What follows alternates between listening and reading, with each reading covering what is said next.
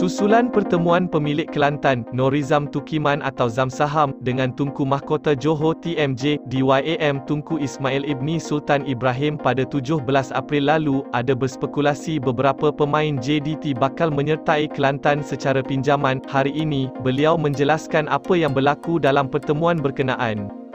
Zamsaham mendedahkan pertemuan yang diadakan di Kelab Polo di Raja Johor itu bertujuan meminta nasihat baginda tentang aspek pengurusan The Red Warriors. Kebetulan pula, hari lahir beliau jatuh pada hari berkenaan. Justeru, sebagai tanda penghormatan lebih-lebih lagi selepas mengetahui Zam Saham sedang berjinak-jinak dengan aktiviti menunggang kuda, baginda berbesar hati mengurniakan dua ekor kuda sebagai hadiah kepadanya, apabila ia dimuat naik di media sosial, ada menyangka dua kuda tersebut ialah dua pemain Harimau Selatan. Kebetulan pula 17 April ialah hari jadi saya, jadi saya pun alhamdulillah dihadiahkan dua ekor kuda. Kebetulan pula saya tengah belajar sikit-sikit pasal menunggang kuda. Jadi, bila baginda hadiahkan dua ekor kuda, asalnya tiga ekor, saya pun terkejut dengan kemurahan hati Tunku Mahkota Johor. Bila saya naikkan kat media sosial saya, semua ingat itu pemain JDT, katanya dalam temu bual bersama Karl Nunis. Bagaimanapun, pada masa sama, Zam Saham juga tidak menolak bekerjasama dengan JDT dalam mendapatkan pemain secara pinjaman dari kelab berkenaan ini kerana persetujuan secara lisan telah dicapai bagi membolehkan Kelantan mendapatkan pemain Harimau Selatan.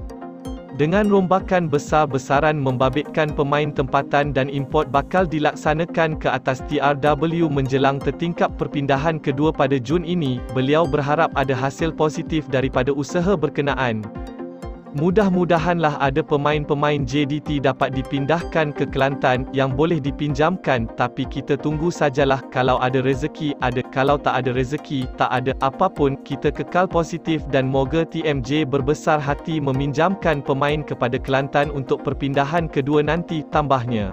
Dua ekor kuda, dua buah dua ekor kuda. Ya, kebetulan sebab saya pun tengah-tengah belajar-belajar lah sikit tentang uh, nak kuda ni kan. Jadi bila dia hadiahkan dua ekor tu asalnya tiga ekor. Jadi saya, saya pun saya terkejut dengan uh, kemurahan hati uh, Mahkota. Jadi dia kata kau nak berapa ekor? Tiga ekor. Saya, saya tak pernah tunggu satu dua ekor je. Jadi Alhamdulillah. Uh, jadi bila saya update tu uh, kali sebut di dalam uh, media sosial saya, uh, ramai beranggapan kuda tersebut adalah pemain. Uh, jadi sebenarnya uh, saya pun berharap juga mungkin mungkin adalah pemain. Maksudnya kuda tu memang kuda betul lah jadi cuma uh, fan-fan kata pemain so mudah-mudahan lah. Mudah-mudahan lah. Uh, mungkin ada lah pemain-pemain JDT yang akan dipindahkan ke Kelantan yang boleh di loan atau sebagainya. Tapi untuk pengetahuan semua just tunggu sajalah. Kalau ada rezeki ada lah kalau tak ada uh, nak macam mana kan